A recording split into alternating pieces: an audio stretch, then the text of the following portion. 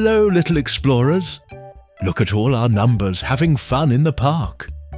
Do you remember our exciting adventures with addition, subtraction, and comparing numbers? Well, today it's time for our numbers to show what they've learned. Let's start with some fun addition. Numbers, come closer when I call you. Okay.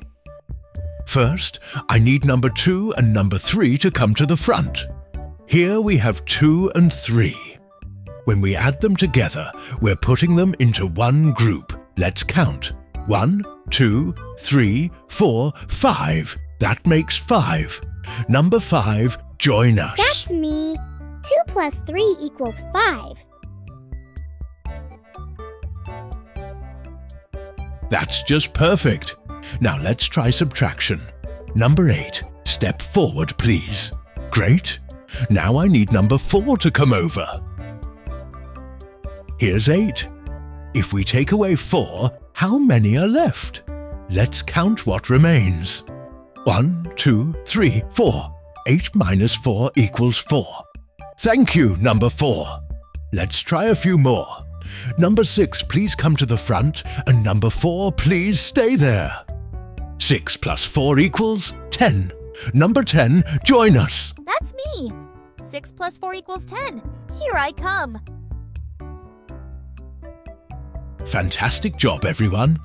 Now let's do another subtraction. Number 10, please stay there, and number 1, please come to the front. Number 10, what is the result of 10 minus 1? That is quite easy. 10 minus 1 equals 9. That's right, number 10. 10 minus 1 equals 9. Number 9, please come to the front. We did such a great job doing addition and subtraction. Let's try one more. Let's try 7 plus 2. Does anyone know the result of 7 plus 2? I think I know the answer. 7 plus 2 equals 9. Is that right? That's right, number 7. Please come to the front to see the result. 7 plus 2 equals 9. Such a fantastic job, everyone! Don't forget to keep practicing your addition and subtraction. And soon you'll be math superstars, just like our number friends. Until next time, little explorers. Goodbye. Stay curious, keep exploring, and never stop learning, little adventurers.